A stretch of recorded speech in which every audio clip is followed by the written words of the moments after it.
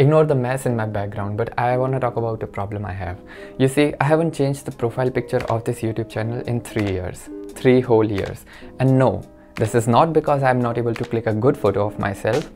Actually, wait, whom am I kidding?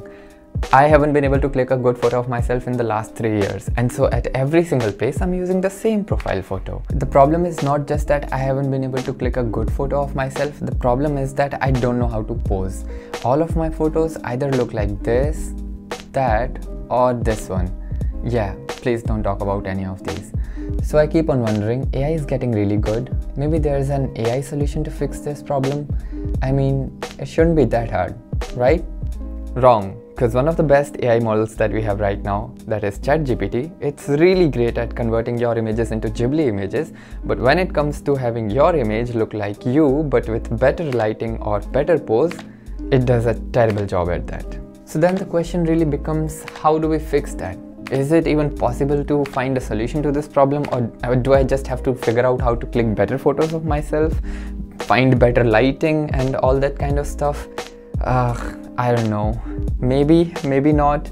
I was really about to give up on this idea of clicking the perfect photo for myself until I found out about Google's new image model that is Nano Banana. Now if you don't know about Nano Banana, it's Google's latest AI model for image generation and the highlight of that model is that it is supposed to preserve the context of the image while making edits.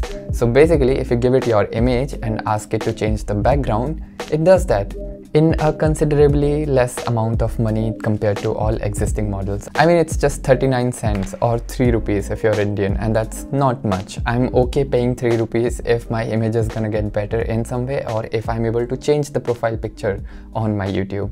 So then I tried out Nano Banana on bunch of my pictures, hoping that this would be the solution to the problem of me never getting a perfect picture for myself. I tried, it works on some images and it doesn't work on most of them. Why? It seemed to have like a very common problem. The common problem is unless the subject is placed in a very plain background, it does a almost terrible job at updating stuff. So I thought about it and it seemed like an easy problem to solve.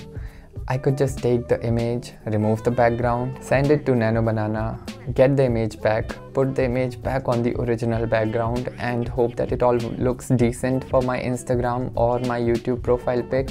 Turns out it does work and so I went to Cursor and created this very simple app that basically merges all these workflows into one. So it will remove the background, send it to Nano Banana, change the pose based on what you want it to be and then put the background back again and it only takes like a couple of minutes and a couple of cents to do this and uh, yeah that's that's hopefully the solution to my problem not really. I still need a lot more features in this app. Things like maybe updating the background, maybe fixing the lighting, or I don't know, adding some props or stuff like that to make it Instagram ready. I don't really have time to do that right now. I mean, I'm going on a trip next week to New York City. That's pretty cool, but I haven't done any sort of planning yet. And so I'm gonna put the code here in the description of this video if one of you guys want to take this up as your side project. Um, take it, run away with it, I want you to turn this into a fully fledged app where if I upload an image, I get a bunch of different options to change the background, fix the lighting, change the pose and a bunch of other stuff and finally get a picture that I can post on Instagram or on my YouTube um, profile pic. If you're able to do that, I'll change my YouTube profile pic. If you're not able to do that, that's fine. Once I come back, I'll update that app and then make it available for all of you guys to use. But yeah, I won't be uploading any video for the next two weeks since I'm out, but once I come back, I'll do more streams. So if you have some ideas for stream, drop them in the comment section. I've started feeling that I talk a bit too fast in these videos, but if that's problematic for you, let me know in the comments. Otherwise, um, thank you so much for watching. I hope you enjoyed this little fun experiment of um, Google's new AI model for image generation.